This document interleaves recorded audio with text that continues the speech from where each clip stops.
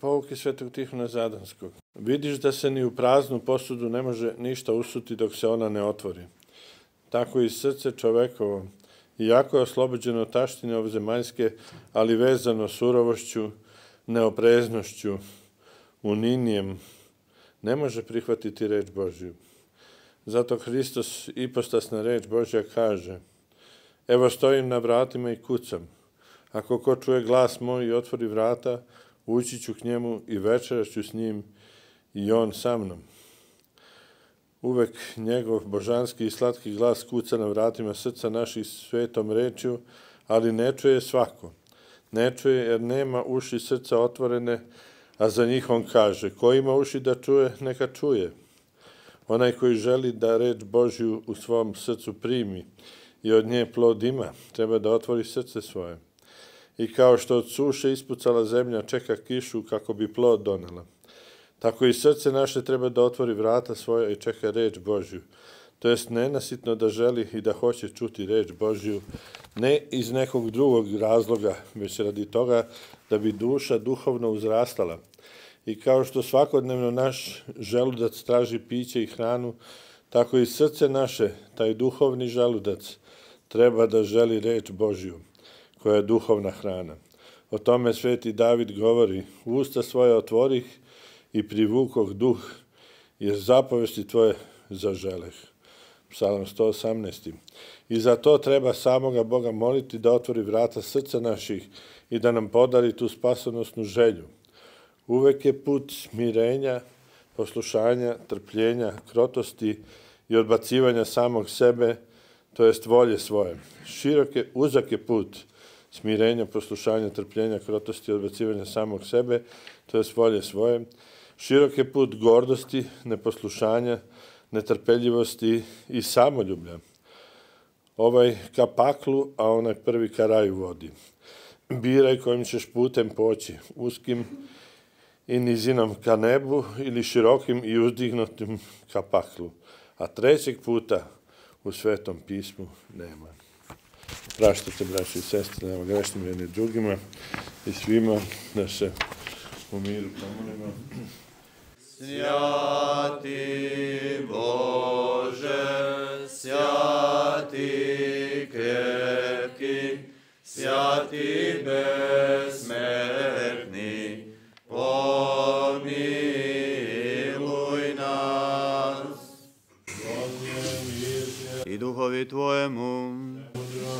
rokimen glas osmi, veselite se u gospodu i radujte se pravedni. Veselite se u gospodu i radujte se pravedni. Blaženi kojima se otpustiše bezakonje, kojima se pokriše gresi. Veselite se u gospodu i radujte se pravedni. Veselite se u gospodu. I radujte se pravedni. Čitanje iz poslanice Galatima i poslanice Timoteju, svetog apostola Pavla. Braćo, pismo predvidevši da Bog opravdava neznabošce verom, unapred objavlja o ramu, u tebi će se blagosloviti svi neznabošci. Tako se oni koji su od vere blagosiljaju sa vernim Avramom, jer koji su god od dela zakona pod prokledstvom su, jer je napisano, proklet svaki koji ne ostane u svemu što je napisano u knjizi zakona da to čini, a da se zakonom niko ne opravdava pred Bogom, jasno je, jer pravjednik će od vere živeti, a zakon nije od vere, nego čovek koji tvori zapovesti, živeće kroz njih. Čedo Timoteju, jačaju blagodati koje u Hristu Isusu, I što si čuo od mene pred mnogim svedocima, to predaj vernim ljudima, koji će biti kadri i druge naučiti. Ti se dakle zlopati kao dobar vojnik Isusa Hrista. Nijedan se vojnik ne upliče u poslove običnog života, da bi ugodio Vojvodi. Ako se koji bori, ne dobija venac ako se ne bori po pravilu. Zemljoradnik koji se trudi treba prvi da okusi od plodova, Razumi šta govorim, a gospod neka ti dade razboritost u svemu. Pamti Isusa Hrista vaskrsloga iz mrtvih, od semena Davidova, po evanđelju mojemu, za koje se zlopatim do samih okova kao zločinac, ali se reč Božja ne da svezati. Zbog toga podnosimo sve radi izabrani, da i oni dobiju spasenje, koje Hristu Isusu sa slavom večnom i duhovi Tvojemu. Aleluja, aleluja, aleluja. Aleluja. Čitaj. Aleluja. Aleluja.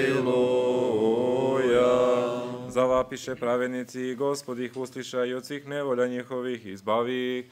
Aleluja. Aleluja. Aleluja. Mnoge su nevolje pravednih i od svih njih izbavit će i gospod. Aleluja. Aleluja.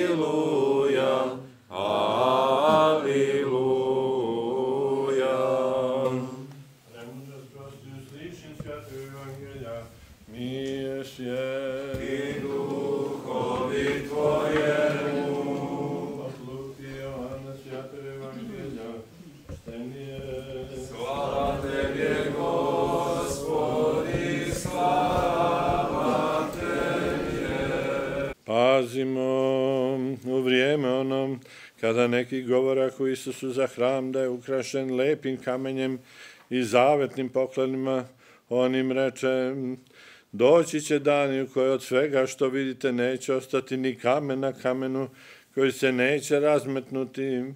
I zapitaše ga govoreći, učitelju kada će to biti i koji je znak kada će se to dogoditi. Tada im reče, ustaće narod na narod i carstvo na carstvom i veliki zemljotresi bit će po mestima i bit će gladi i pomori i strahote i znaci veliki bit će s neba.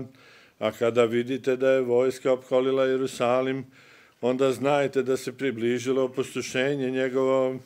Tada koji budu u Judeji neka beže u gore i koji budu u samome gradu neka ne izlaze napolje i koji su u polju neka ne ulaze u grad, jer su ovo dani osvete, da se ispuni sve što je napisano, a teško trudnicama i dojljama u te dane, jer će biti nevolja velika na zemlji i gnev na narodu ovome, i pašće od oštrice mača i bit će odvedeni u robstvo po svim narodima. Jerusalim će gaziti neznabošci, dok se ne ispune vremena neznabožaca.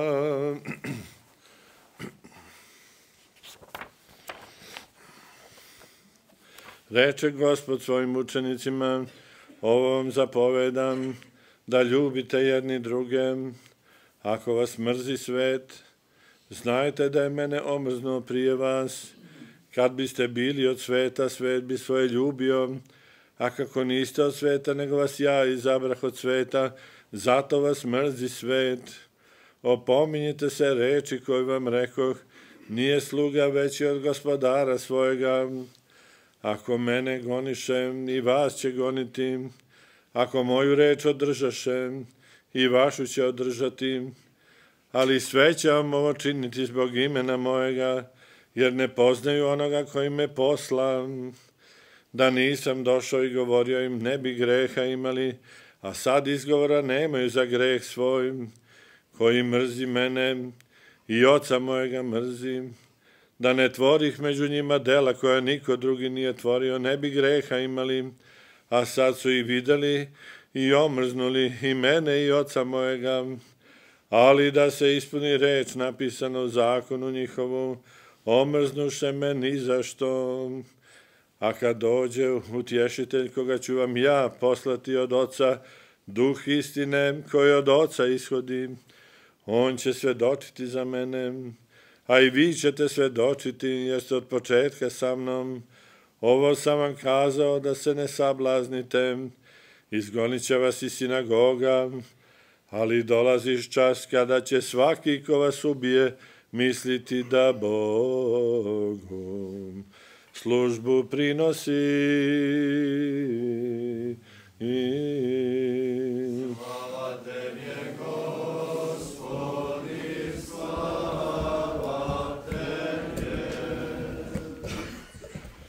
Oca i Sine i Svetoga Duha.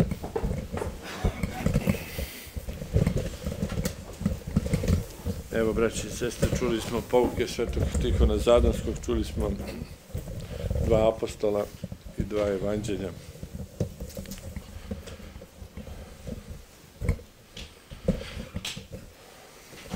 U ovom prvom evanđelju učenici su pitali gospoda kada, kada su bili na Maslinskoj gori, hteli su da mu pokažu kako je lep Solomonov hram. I onda je gospod rekao tu rečenicu da od tog hrama neće ostati ni kamen na kamenu. I onda su ga oni pitali, u stvari dva pitanja u jednom. Kada će to biti i kakvi su to znaci tvog drugog dolaska? Oni su mislili da će to biti ujedno i jedno i drugo, kraj sveta i propast Jerusalima. Međutim, gospod je odgovarao uporedo na oba pitanja. Pa se jedan deo odgovora odnosi na propast Jerusalima, a drugi se deo odnosi na njegov drugi dolazak. Međutim, kako je sam gospod rekao, niko ne zna kada će biti taj drugi dolazak. Rekao je čak ni sin, ni anđeli, nego samo otac. Znači, gospod nije hteo da otkrije nikada tačno, što kaže, kad će, kad će to da bude. Rekao je, pazite na znake. Pa kad vidite da se znaci događaju, znajte da je blizu. Znaci se događaju kroz ceo 20. vek. Bili su i ratovi, i zemljotresi, i ustao narod na narod. I sve se ovo već izdogađalo, što kaže. I evo, u ovom ratu, kad je ceo svet ratovao protiv male Srbije, svi su mislili da Bogu službu čine ubijajući našu dešticu i, i, i tako. Znači, zato što su odstupili od gospoda zato što su otišli na suprotnu stranu. Ovaj svet je pao, što kaže, i, i pada sve dublje i dublje. Zato smo mi trn u oku, zato je pravoslavlje trn u oku, jer ne može da se svuda zacari antikrist, dok god ima pravoslavlje, dok god ima pravoslavna liturgija. Zato su toliki napadi na nas, što kaže, i evo sad i ovi poslednji u Crnoj Gori i tako dalje. Ali Bog je jači od svega i mi ne treba da se brinemo za to. Znači, gospod je rekao, vrata pakla crkvu neće nadvladati. Znači, ne može, crkva je nepobediva, kako kaže naš vladika Atanasije. To je zaista tako i moramo to da verujemo. Znači, ako verujemo da je gospod stvorio zemlju i sve što je na njoj i ovaj, onda moramo da verujemo da će zaista, da niko ne može tog gospoda da pobedi. Moramo da imamo tu čvrstu veru, čvrstu veru i nadu na spasenje. I takve treba da budu naše molitve. I moramo da imamo strpljenje. Naše strpljenje, odnosno nestrpljenje, je naš najveći greh srpski. Jer taman da dođemo do nekog cila, mi izgubimo strpljenje i odustanemo. Postanemo malodušni, ili prekinemo, na, na, taman smo bili na dohvat, pali nam još jedan mali korak, ali mi tu odustanemo. I stalno nam se to i događa da ne stignemo do, do, do nekog cilja. I šta je gospod na kraju dao kao savet? Rekao je, ljubite jedni druge. Gospod nas poziva na ljubav. Ljubav je zaista najveća vrlina, ali se poslednja otvara. Poslednja se otvara zato što Kao što ne možemo da primimo, kako kaže Sveti Tihon Zadanski, ne možemo da primimo gospoda u srce dok se to srce ne otvori, dok se ne očisti. Zato uvek moramo da polazimo od sebe. Gde god da imamo, što kaže, problema i konflikata, prvo moramo svoje srce da očistimo. Pa onda će, što kaže, ući blagodat u njega, pa onda će se i, um naš prosvetiti kako da rešimo neki problem. Dogod je naše srce zatamljeno, mračnim mislima i osudama i takvim stvarima, ne može tu gospod da se, da se usredi. A mi smo stalno u tome. Znači. Stalno nam je nešto tu važnije, neka ekonomija, neka, neka događanja i tako dalje. I laki, laki smo na osudu. Idemo u crkve, pričešćemo se i sve to, ali lako upadamo u osudu, lako, znači, odustajemo od puta ljubavi. A gospod nam je pokazao taj put, znači, izdržao je sve na kraju i, i krsnu smrt, što kaže onaj koji je bio bezgrešan, koji je stvorio nebo i zemlju, koji je mogao da dovede šest legiona, što kaže anđela, jedan anđeo drži zemlju na malome prstu, ima takvu silu. Znači, nije on to uradio, on se dobrovoljno raspeo da bi se mi spasili. On se dobro raspeo, uzeo naše grehe i zakovao na krst. A mi danas opet zabijamo klince u iste rane. Znači, kad god odustajemo, kad god se okrenemo ka grehu, mi ponovo gospoda raspinjamo, mi ponovo mu ostavljamo eksere u iste, u iste rane.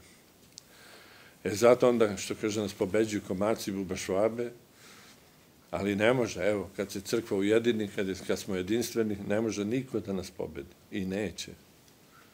I ne brinite se, što kaže, neka se ne brini, kaže, ako čovjek svoj, ovaj, svoj život izgubi za gospoda, on ga je našao, što kaže, dobio je večni. Ako čuvamo svoj život da ne bi nastradali, a odustanemo od vere, mi smo propali. Nije Srbin onaj koji se rodio u Srbiji, što kaže Vladika Nikola i Volovi su se rodili u Srbiji, pa nisu Srbi, nego onaj koji brani veru pravoslavnu.